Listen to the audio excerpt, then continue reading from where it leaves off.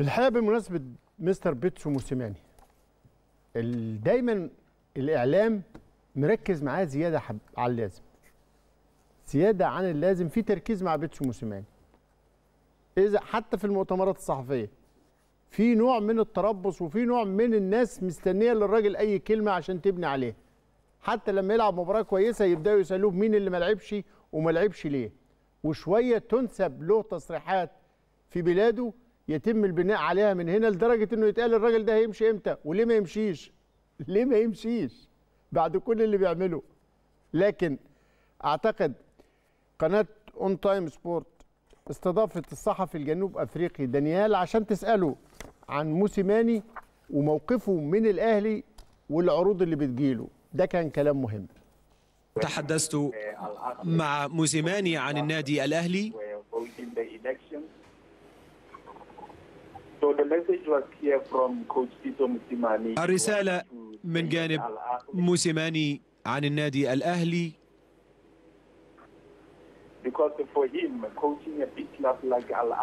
هو. بقاؤه مع النادي الأهلي بالنسبة لموسيماني النادي الأهلي هو نادي كبير وبالتالي كان سؤالي يتعلق أيضا معه سواء ببقائه مع النادي الأهلي أم مغادرته ولكن موسيماني تحدث عن الأوقات الرائعة التي يقضيها مع النادي الأهلي؟ حسيت من حديث موسيماني معاك إن هو بيؤكد إن هو هيجدد النادي الأهلي لمدة موسمين رغم امتلاكه لعدد من العروض في الدول العربية.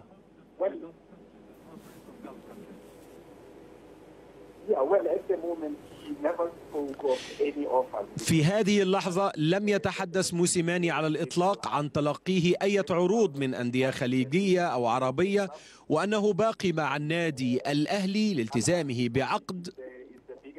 الأهلي بالنسبة لسوماني هو الفريق الأكبر في إفريقيا وهو يحقق معه إنجازات أكثر من رائعة.